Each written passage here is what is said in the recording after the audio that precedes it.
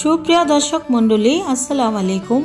Rekha's blog and cooking শোয়ের আরও একটি এপিসোড দেখার জন্য আমন্ত্রণ রইল। আজকের এপিসোডে রয়েছে ইউনিক একটি ফুলকপির রেসিপি আর এই রেসিপিটি মুখে লেগে থাকার মতো অসম্ভব মজার এই ফুলকপির এই নাস্তাটি আপনারা একবার হলে ট্রাই করে দেখবেন। কত যে সুস্বাদু হয়। ছোট বড় সবাই খুব পছন্দ করবে এই ফুলকপির ইউনিক এই রেসিপিটি আশা করি আপনাদের কাছে ভালো লাগবে। তো প্রথমে আমি একটি ফুলকপি নিয়েছি, একদম সতেজ, একদম তরতজা, তাজা, একদম ফ্রেশ একটি ফুলকপি নিয়ে এখন আমি কেটে নিচ্ছি। কীভাবে সেটাই আমি দেখিয়ে দিচ্ছি। এ তো এভাবে করে আপনারা ভাগ করে নেবেন।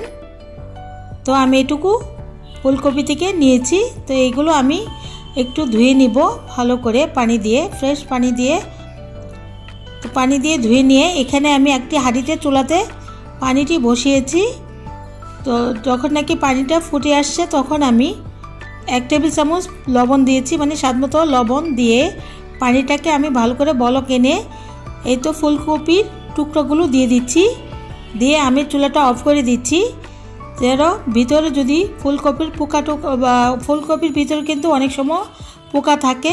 এভাবে যদি আপনারা পাঁচ মিনিট ভিজিয়ে রাখেন তাহলে যদি কোনো পোকা থাকে সেটা বের হয়ে যাবে। তা আমি চুলা অফ করে দিয়ে এদিকে এসছি। আমি পেঁয়াজ পাতা কেটে নিচ্ছি। কীভাবে সেটা দেখিয়ে দিচ্ছি। কতটুকু পরিমাণ নিয়েছি সেটা তো অবশ্যই আপনারা দেখতে পেয়েছেন। পেঁয়াজ পাতাটা কাটা হয়ে গিয়েছে। তো এখানে আমি তিনটা কাঁচামরিচ নিয়েছি। সেগুলিকেও খুব পাতলা করে কেটে নিচ্ছি।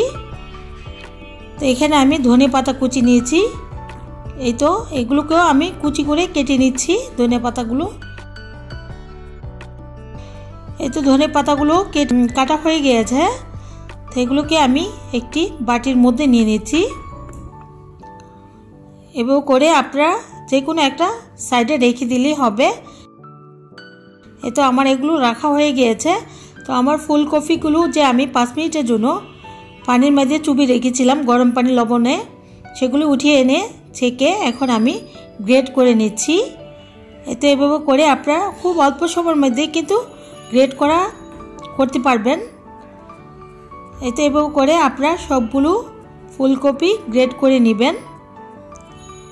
তো আমার আজকের রেসিপিটা যদি ভালো লাগে, তো একটি লাইক হয়ে যাক। নিত্য নতুন রেসিপিতে প্লিজ আমার চ্যানেলটিকে সাবস্ক্রাইব করে আমার চ্যানেলের সাথেই থাকুন।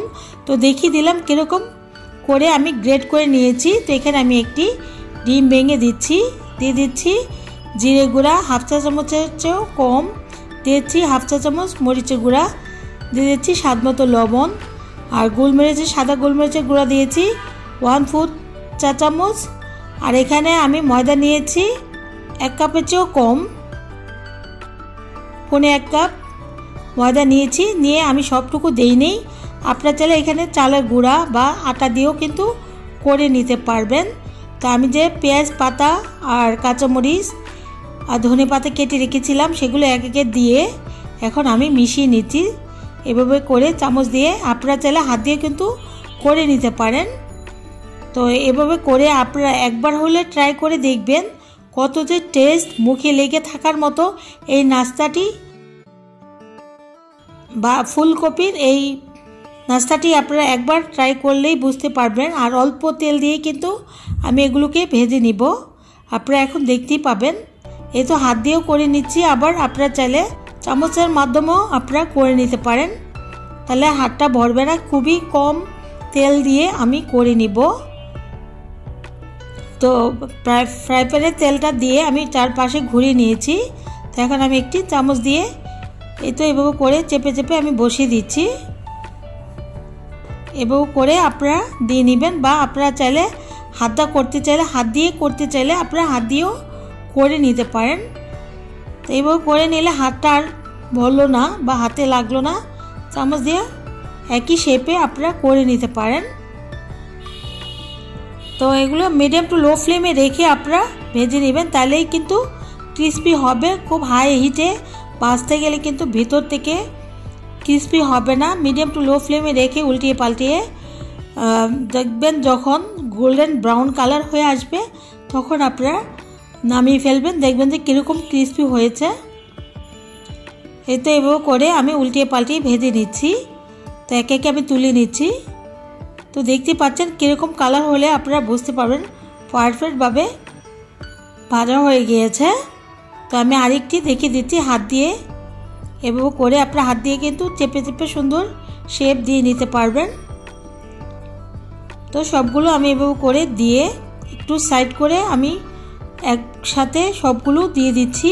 এই তো সবগুলো দেওয়া হয়ে গিয়েছে। তো আমি উল্টিয়ে পাল্টিয়ে দিচ্ছি। এক পিস যখন হয়ে আসবে, এভাবে করে উল্টিয়ে পাল্টিয়ে, এই তো গোল্ডেন ব্রাউন কালার হয়ে গিয়েছে। দেখতেই কিন্তু খুব লোভনীয় লাগে। খেতে যে কি মজা। আমি বারবার করে বলে দিচ্ছি। তো এই তো পরিবেশন করে নিচ্ছি। তো এইটা যদি বিকেলের চায়ের আড্ডা বা সকালের বাচ্চাদের স্কুলে টিফিনে আপনারা দিয়ে দেন, তাহলে কিন্তু বাচ্চারা অনেক মজা করে খেয়ে নেবে। এ তো আমি ঘুরিয়ে ফিরিয়ে দেখিয়ে দিচ্ছি। আর একটু ভেঙেও দেখিয়ে দিচ্ছি কীরকম ক্রিসপি ভিতর থেকে কীরকম দেখতে হয়েছে আর খেতে যে কত টেস্ট এটা আপনারা একবার ট্রাই করলেই বুঝতে পারবেন। খুব অল্প সময়ের মধ্যে এত কম খরচে এত মজাদার এই নাস্তাটি। আর এখন শীতের এই সবজি কিন্তু সব জায়গায় পাওয়া যায়। এই ফুলকপি এই শীতে কিন্তু সব জায়গায় পাওয়া যায়। আপনারা যখন তখন ইচ্ছা মতো আপনারা ফুলকপির এই রাস্তাটি তৈরি করে নিতে পারবেন। তো আমার আজকের রেসিপিটি এখানেই শেষ করব। আজকের মতো আল্লাহ হাফেজ।